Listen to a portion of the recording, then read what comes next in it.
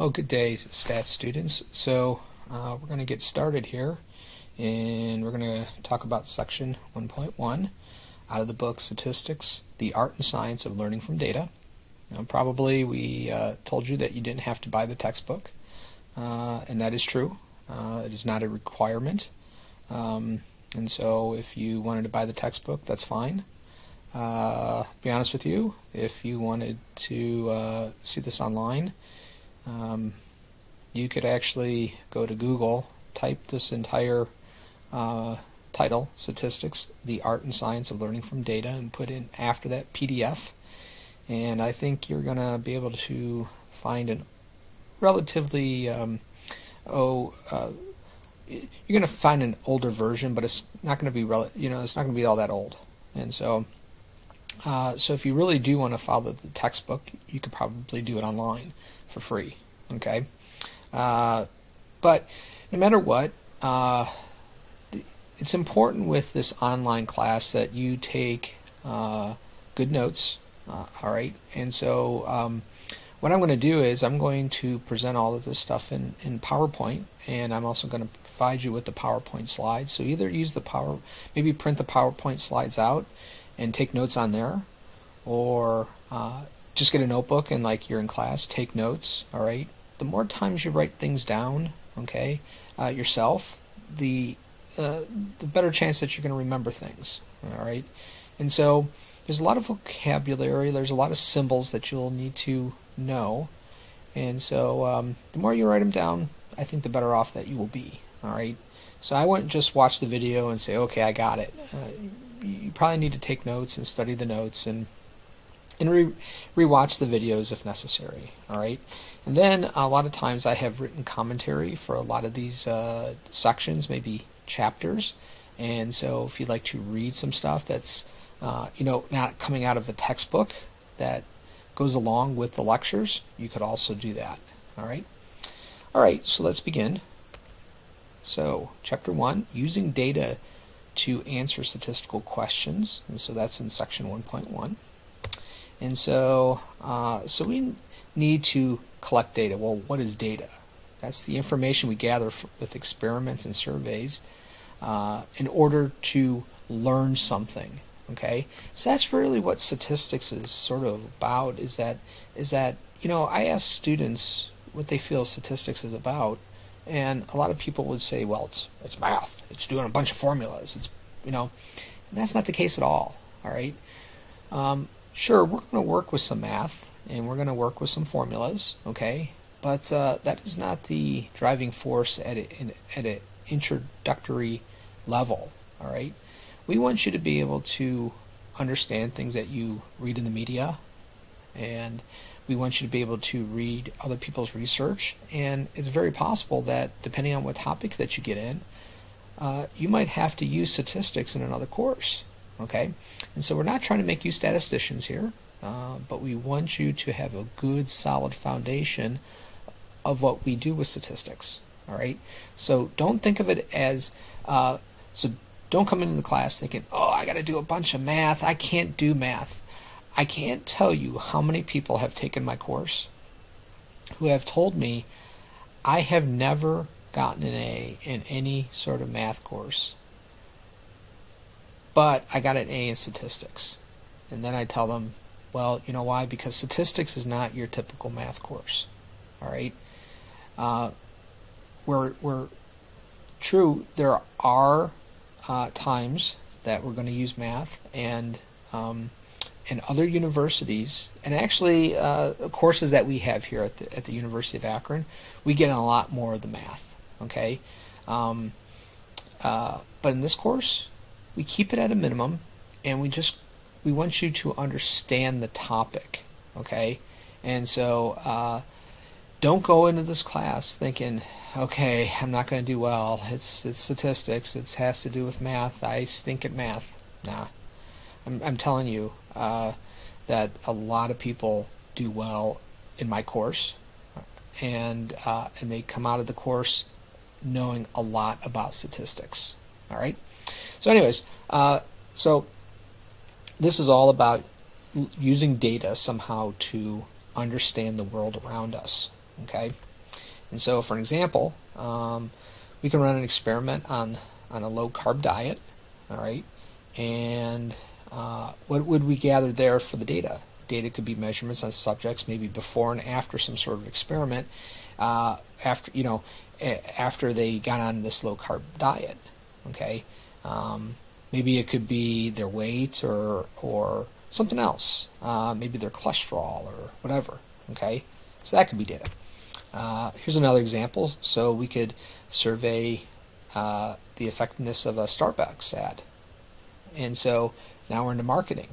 Okay, and so uh, data could be collected from Starbucks customers, whether they saw the TV ad, how much did they purchase, you know, how much did they spend, what did they spend it on, uh, so on and so forth. And so, um, what else? Uh, so we could do a survey of University of Akron students, and we could collect data on the number of credit hours, their class rank. All this stuff are is data. Okay, their grade point average, their uh, their number of hours that they go ahead and study, uh, so on and so forth. Okay, all of this is data. Okay, and we gather up all this data to learn the world around us. Okay, to learn about uh, things that we experience. Okay. All right. So, what about statistics? Uh, and so, you know, before I go into the slides here, I ask students, uh, well, where have you seen the word statistics? And a lot of times I get uh, sports. You know, I, I see it in sports a lot. Well, that's true, right? And and what is statistics trying to do there? Um, well, first of all, you have to differentiate between the statistics that we do in this course versus the stats that you see uh, in a uh, like a football game. All right. So what happens now? Um, I just want to tell you that um, uh, it's not necessary to know about sports, and I don't give a bunch of sports examples. Every once in a while, I'll do do that. I'll give marketing. I'll give medical examples, uh, business examples, uh, so on and so forth. And so, um, so don't think that this is all about sports. But, uh, anyways, um, so a lot of times I have students go, "Oh, so we see halftime stats, right?" Okay, so what are they trying to do there? Well, what's happening there is that uh, uh, they take the data, so they take every play that has happened, you know, and and gone ahead and and synthesized it all into a table a lot of times, and so they give you like the halftime stats for the different teams, and they'll say, here's the rushing yards, here's the passing yards, here's the interceptions, here's the you know the turnovers, the time of possessions, all that stuff. Why? What are they trying to do? They're trying to tell you a story, okay, and so um, they're just summarizing the data because our brains can't handle looking at all that data at once. Just imagine if they went and just scrolled uh, at halftime all the different plays. Could our brains handle that? No, but no, nobody's brain can handle that. Okay, it wouldn't make any sense. And so what do we do? We we we gather up that all the data and, and put it into a nice table so we can understand it. So we actually do that in chapter two, but that that is actually uh, a minor piece of statistics. Okay, we use that in a bigger uh, picture, uh, bigger problem, if you will. Okay, so uh, with statistics, we go ahead and design studies. Okay, are we going to sample the uh, uh, a group of people or a group of things, or are we going to run an experiment or what have you? And so we design studies uh, based upon what we want to learn. Uh, then we gather up the data from those studies or those surveys or those samples, okay? And we analyze the data, okay? And then we take that data and we translate it into now knowing something about the world, okay? And so that's what really this is all about is translating that data into knowledge, okay? And the more knowledge that people have, the more they understand the world and the more, uh, if you will, uh, if you power, right? Knowledge is power here, and so we're trying to take that data, translate it into knowledge, so you can understand the things around you. Okay. So that's really what statistics is about, and we'll get into more specifics, obviously, as we go through the semester. Uh, but that, from a 20,000 foot view, there you go. All right, so after we get this data, what are we going to a lot of times do? We're going to summarize the data, like I was telling you with like the halftime halftime stats, right? Uh, a lot of times, what we do is we either take a look at averages, or we take a look at percentages, or we take a look at graphs and charts, and, and we do it do something with this stuff. Okay, uh, again, this would be a, a smaller step in a bigger picture problem.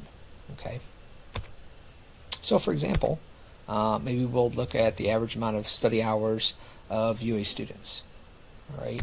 Or we'll make a graph displaying um, how study hours relate to grade point average, right? Is there some sort of relationship there, okay? And so what we do then is that we take that data and we make what's called an inference, and, and we'll get into inferences actually more uh, in in section 1.2. But basically, what's going on there is that we're making decisions or predictions based upon some data, and we're going to expand that definition a little bit, okay? Um, but uh, that's basically what's going on with an inference, and so we're trying to make an inference. So, for an example, remember that low carb diet? So maybe we can make some sort of um, decision with regards to is a low carb diet an effective way to lose weight? All right, so now we can maybe start to answer that type of question. Or with Starbucks, do Starbucks customers who see the current advertisements spend more money on their purchase? We can start to determine that. And so we can figure out if that marketing, uh, um, uh, you know, ad or or program or whatever uh, is effective. Okay. Or do full-time University of Akron students have a higher grade point average uh, than part-time University of Akron students? Okay. And so we, we take the data and we start learning about these different groups, these different sets of people, these different things. Okay, so we're just trying to learn about uh, a little bit about the world around us. Okay, so that ends uh, section 1.1.